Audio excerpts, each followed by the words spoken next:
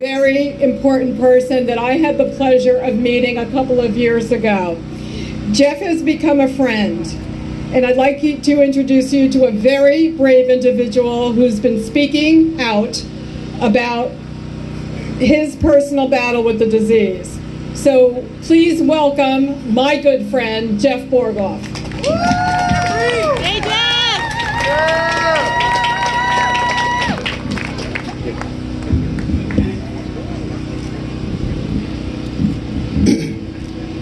Thank you. Um? Thank you, uh, everyone, for, uh, for allowing me to um, speak today. Thank you to the Greater New Jersey chapter uh, for this honor. Um, it truly is an honor. And I uh, want to tell you a little bit about myself.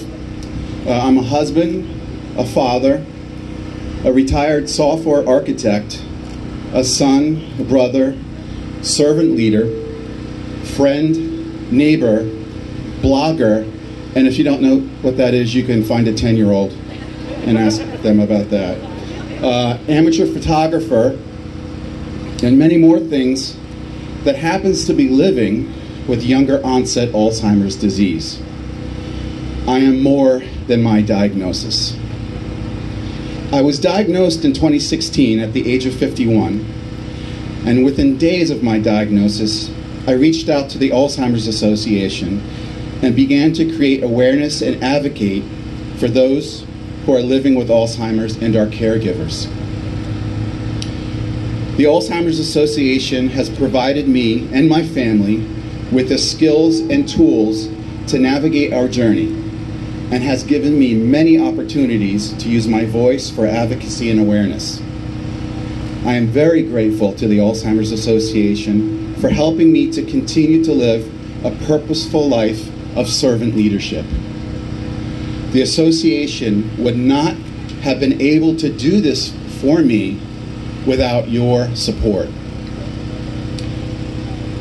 It's been a rough few years, it took almost a year and a half to get an accurate diagnosis in 2016. They tested me for a variety of neurological diseases.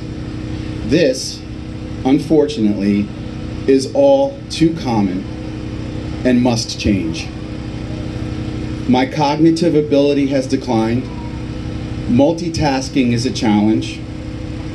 Memory recall issues are persistent, along with other symptoms that are commonly known to neurodegenerative diseases.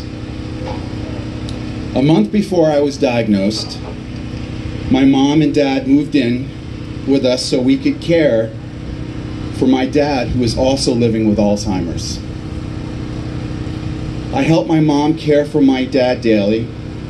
It's surreal, as you might imagine.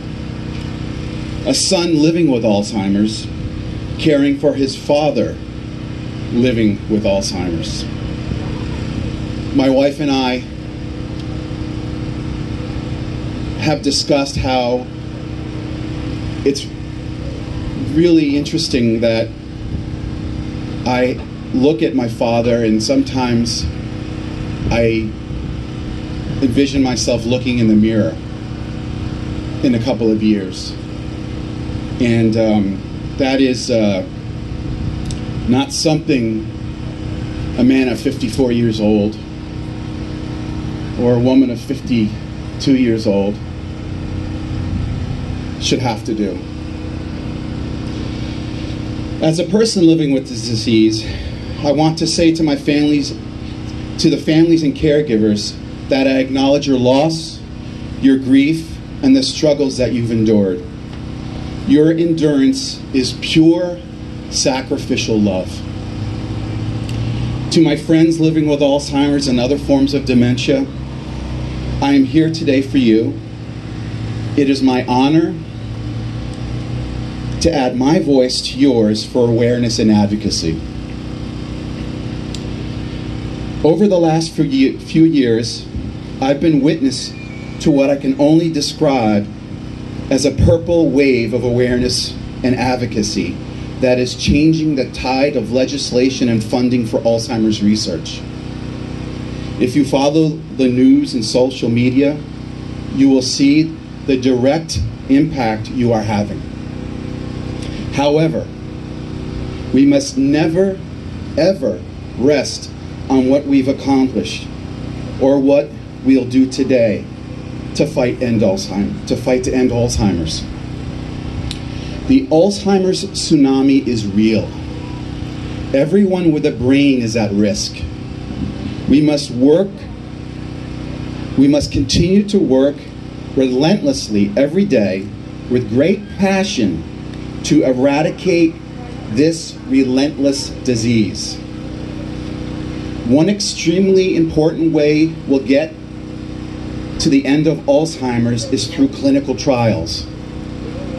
I am a, a participant in the Biogen aducanumab clinical trial right here in Toms River, New Jersey, south of here, at the Advanced Memory Research Institute.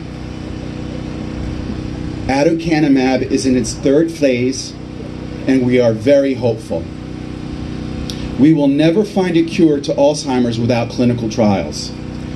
Those of us that are here today living with Alzheimer's and are willing and able, you could help. I would be very happy to speak to you about the clinical trial process. I'll be at the clinical trial center this Monday for my 25th, I'm sorry, my 29th infusion. I've heard it said that any one of the persons participating in a clinical trial today could very well be the first survivor of Alzheimer's.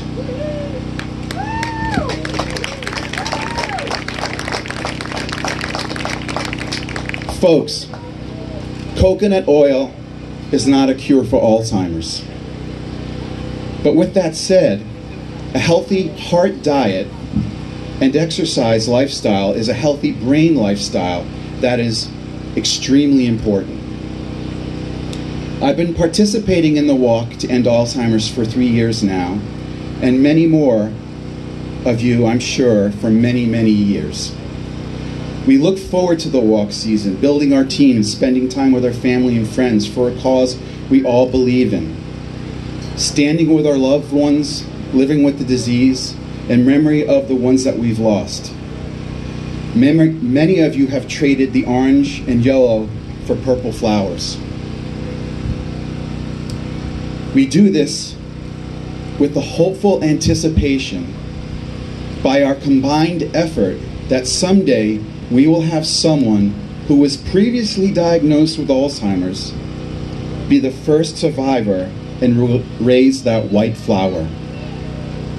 Until then, let us continue to labor with love to raise awareness, advocate, and fight the good fight to end Alzheimer's. Thank you.